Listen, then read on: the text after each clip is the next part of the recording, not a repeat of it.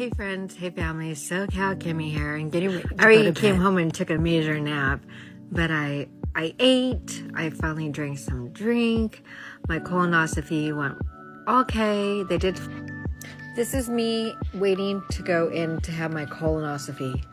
There's my room. Find one pollen that she's um, sending off to the lab. She says doesn't look cancerous, but she wants to double check and go from there. And that's fine with me. Double check all the way. I do have, but uh, they're small. They're not inflared. Well, of course they're not inflared. I've been pissing shit for the last couple days. Not big poops. I didn't want to say that. But she was a really nice doctor. I really enjoyed her. Um, she is super cool. Uh, bedside manners, in other words. Um, she was really good. She let me know everything else. And then afterwards, when I woke up, I don't remember half the things. I don't even remember how I got dressed.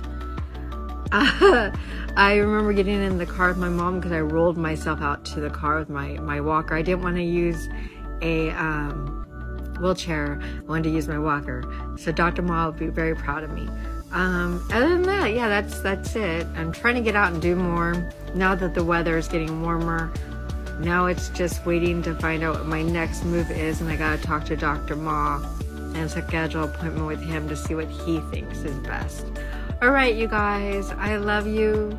Be kind to one another because life's too short, and may God bless you and give you and may the universe give you presents. You can tell I'm still out of it. Love you.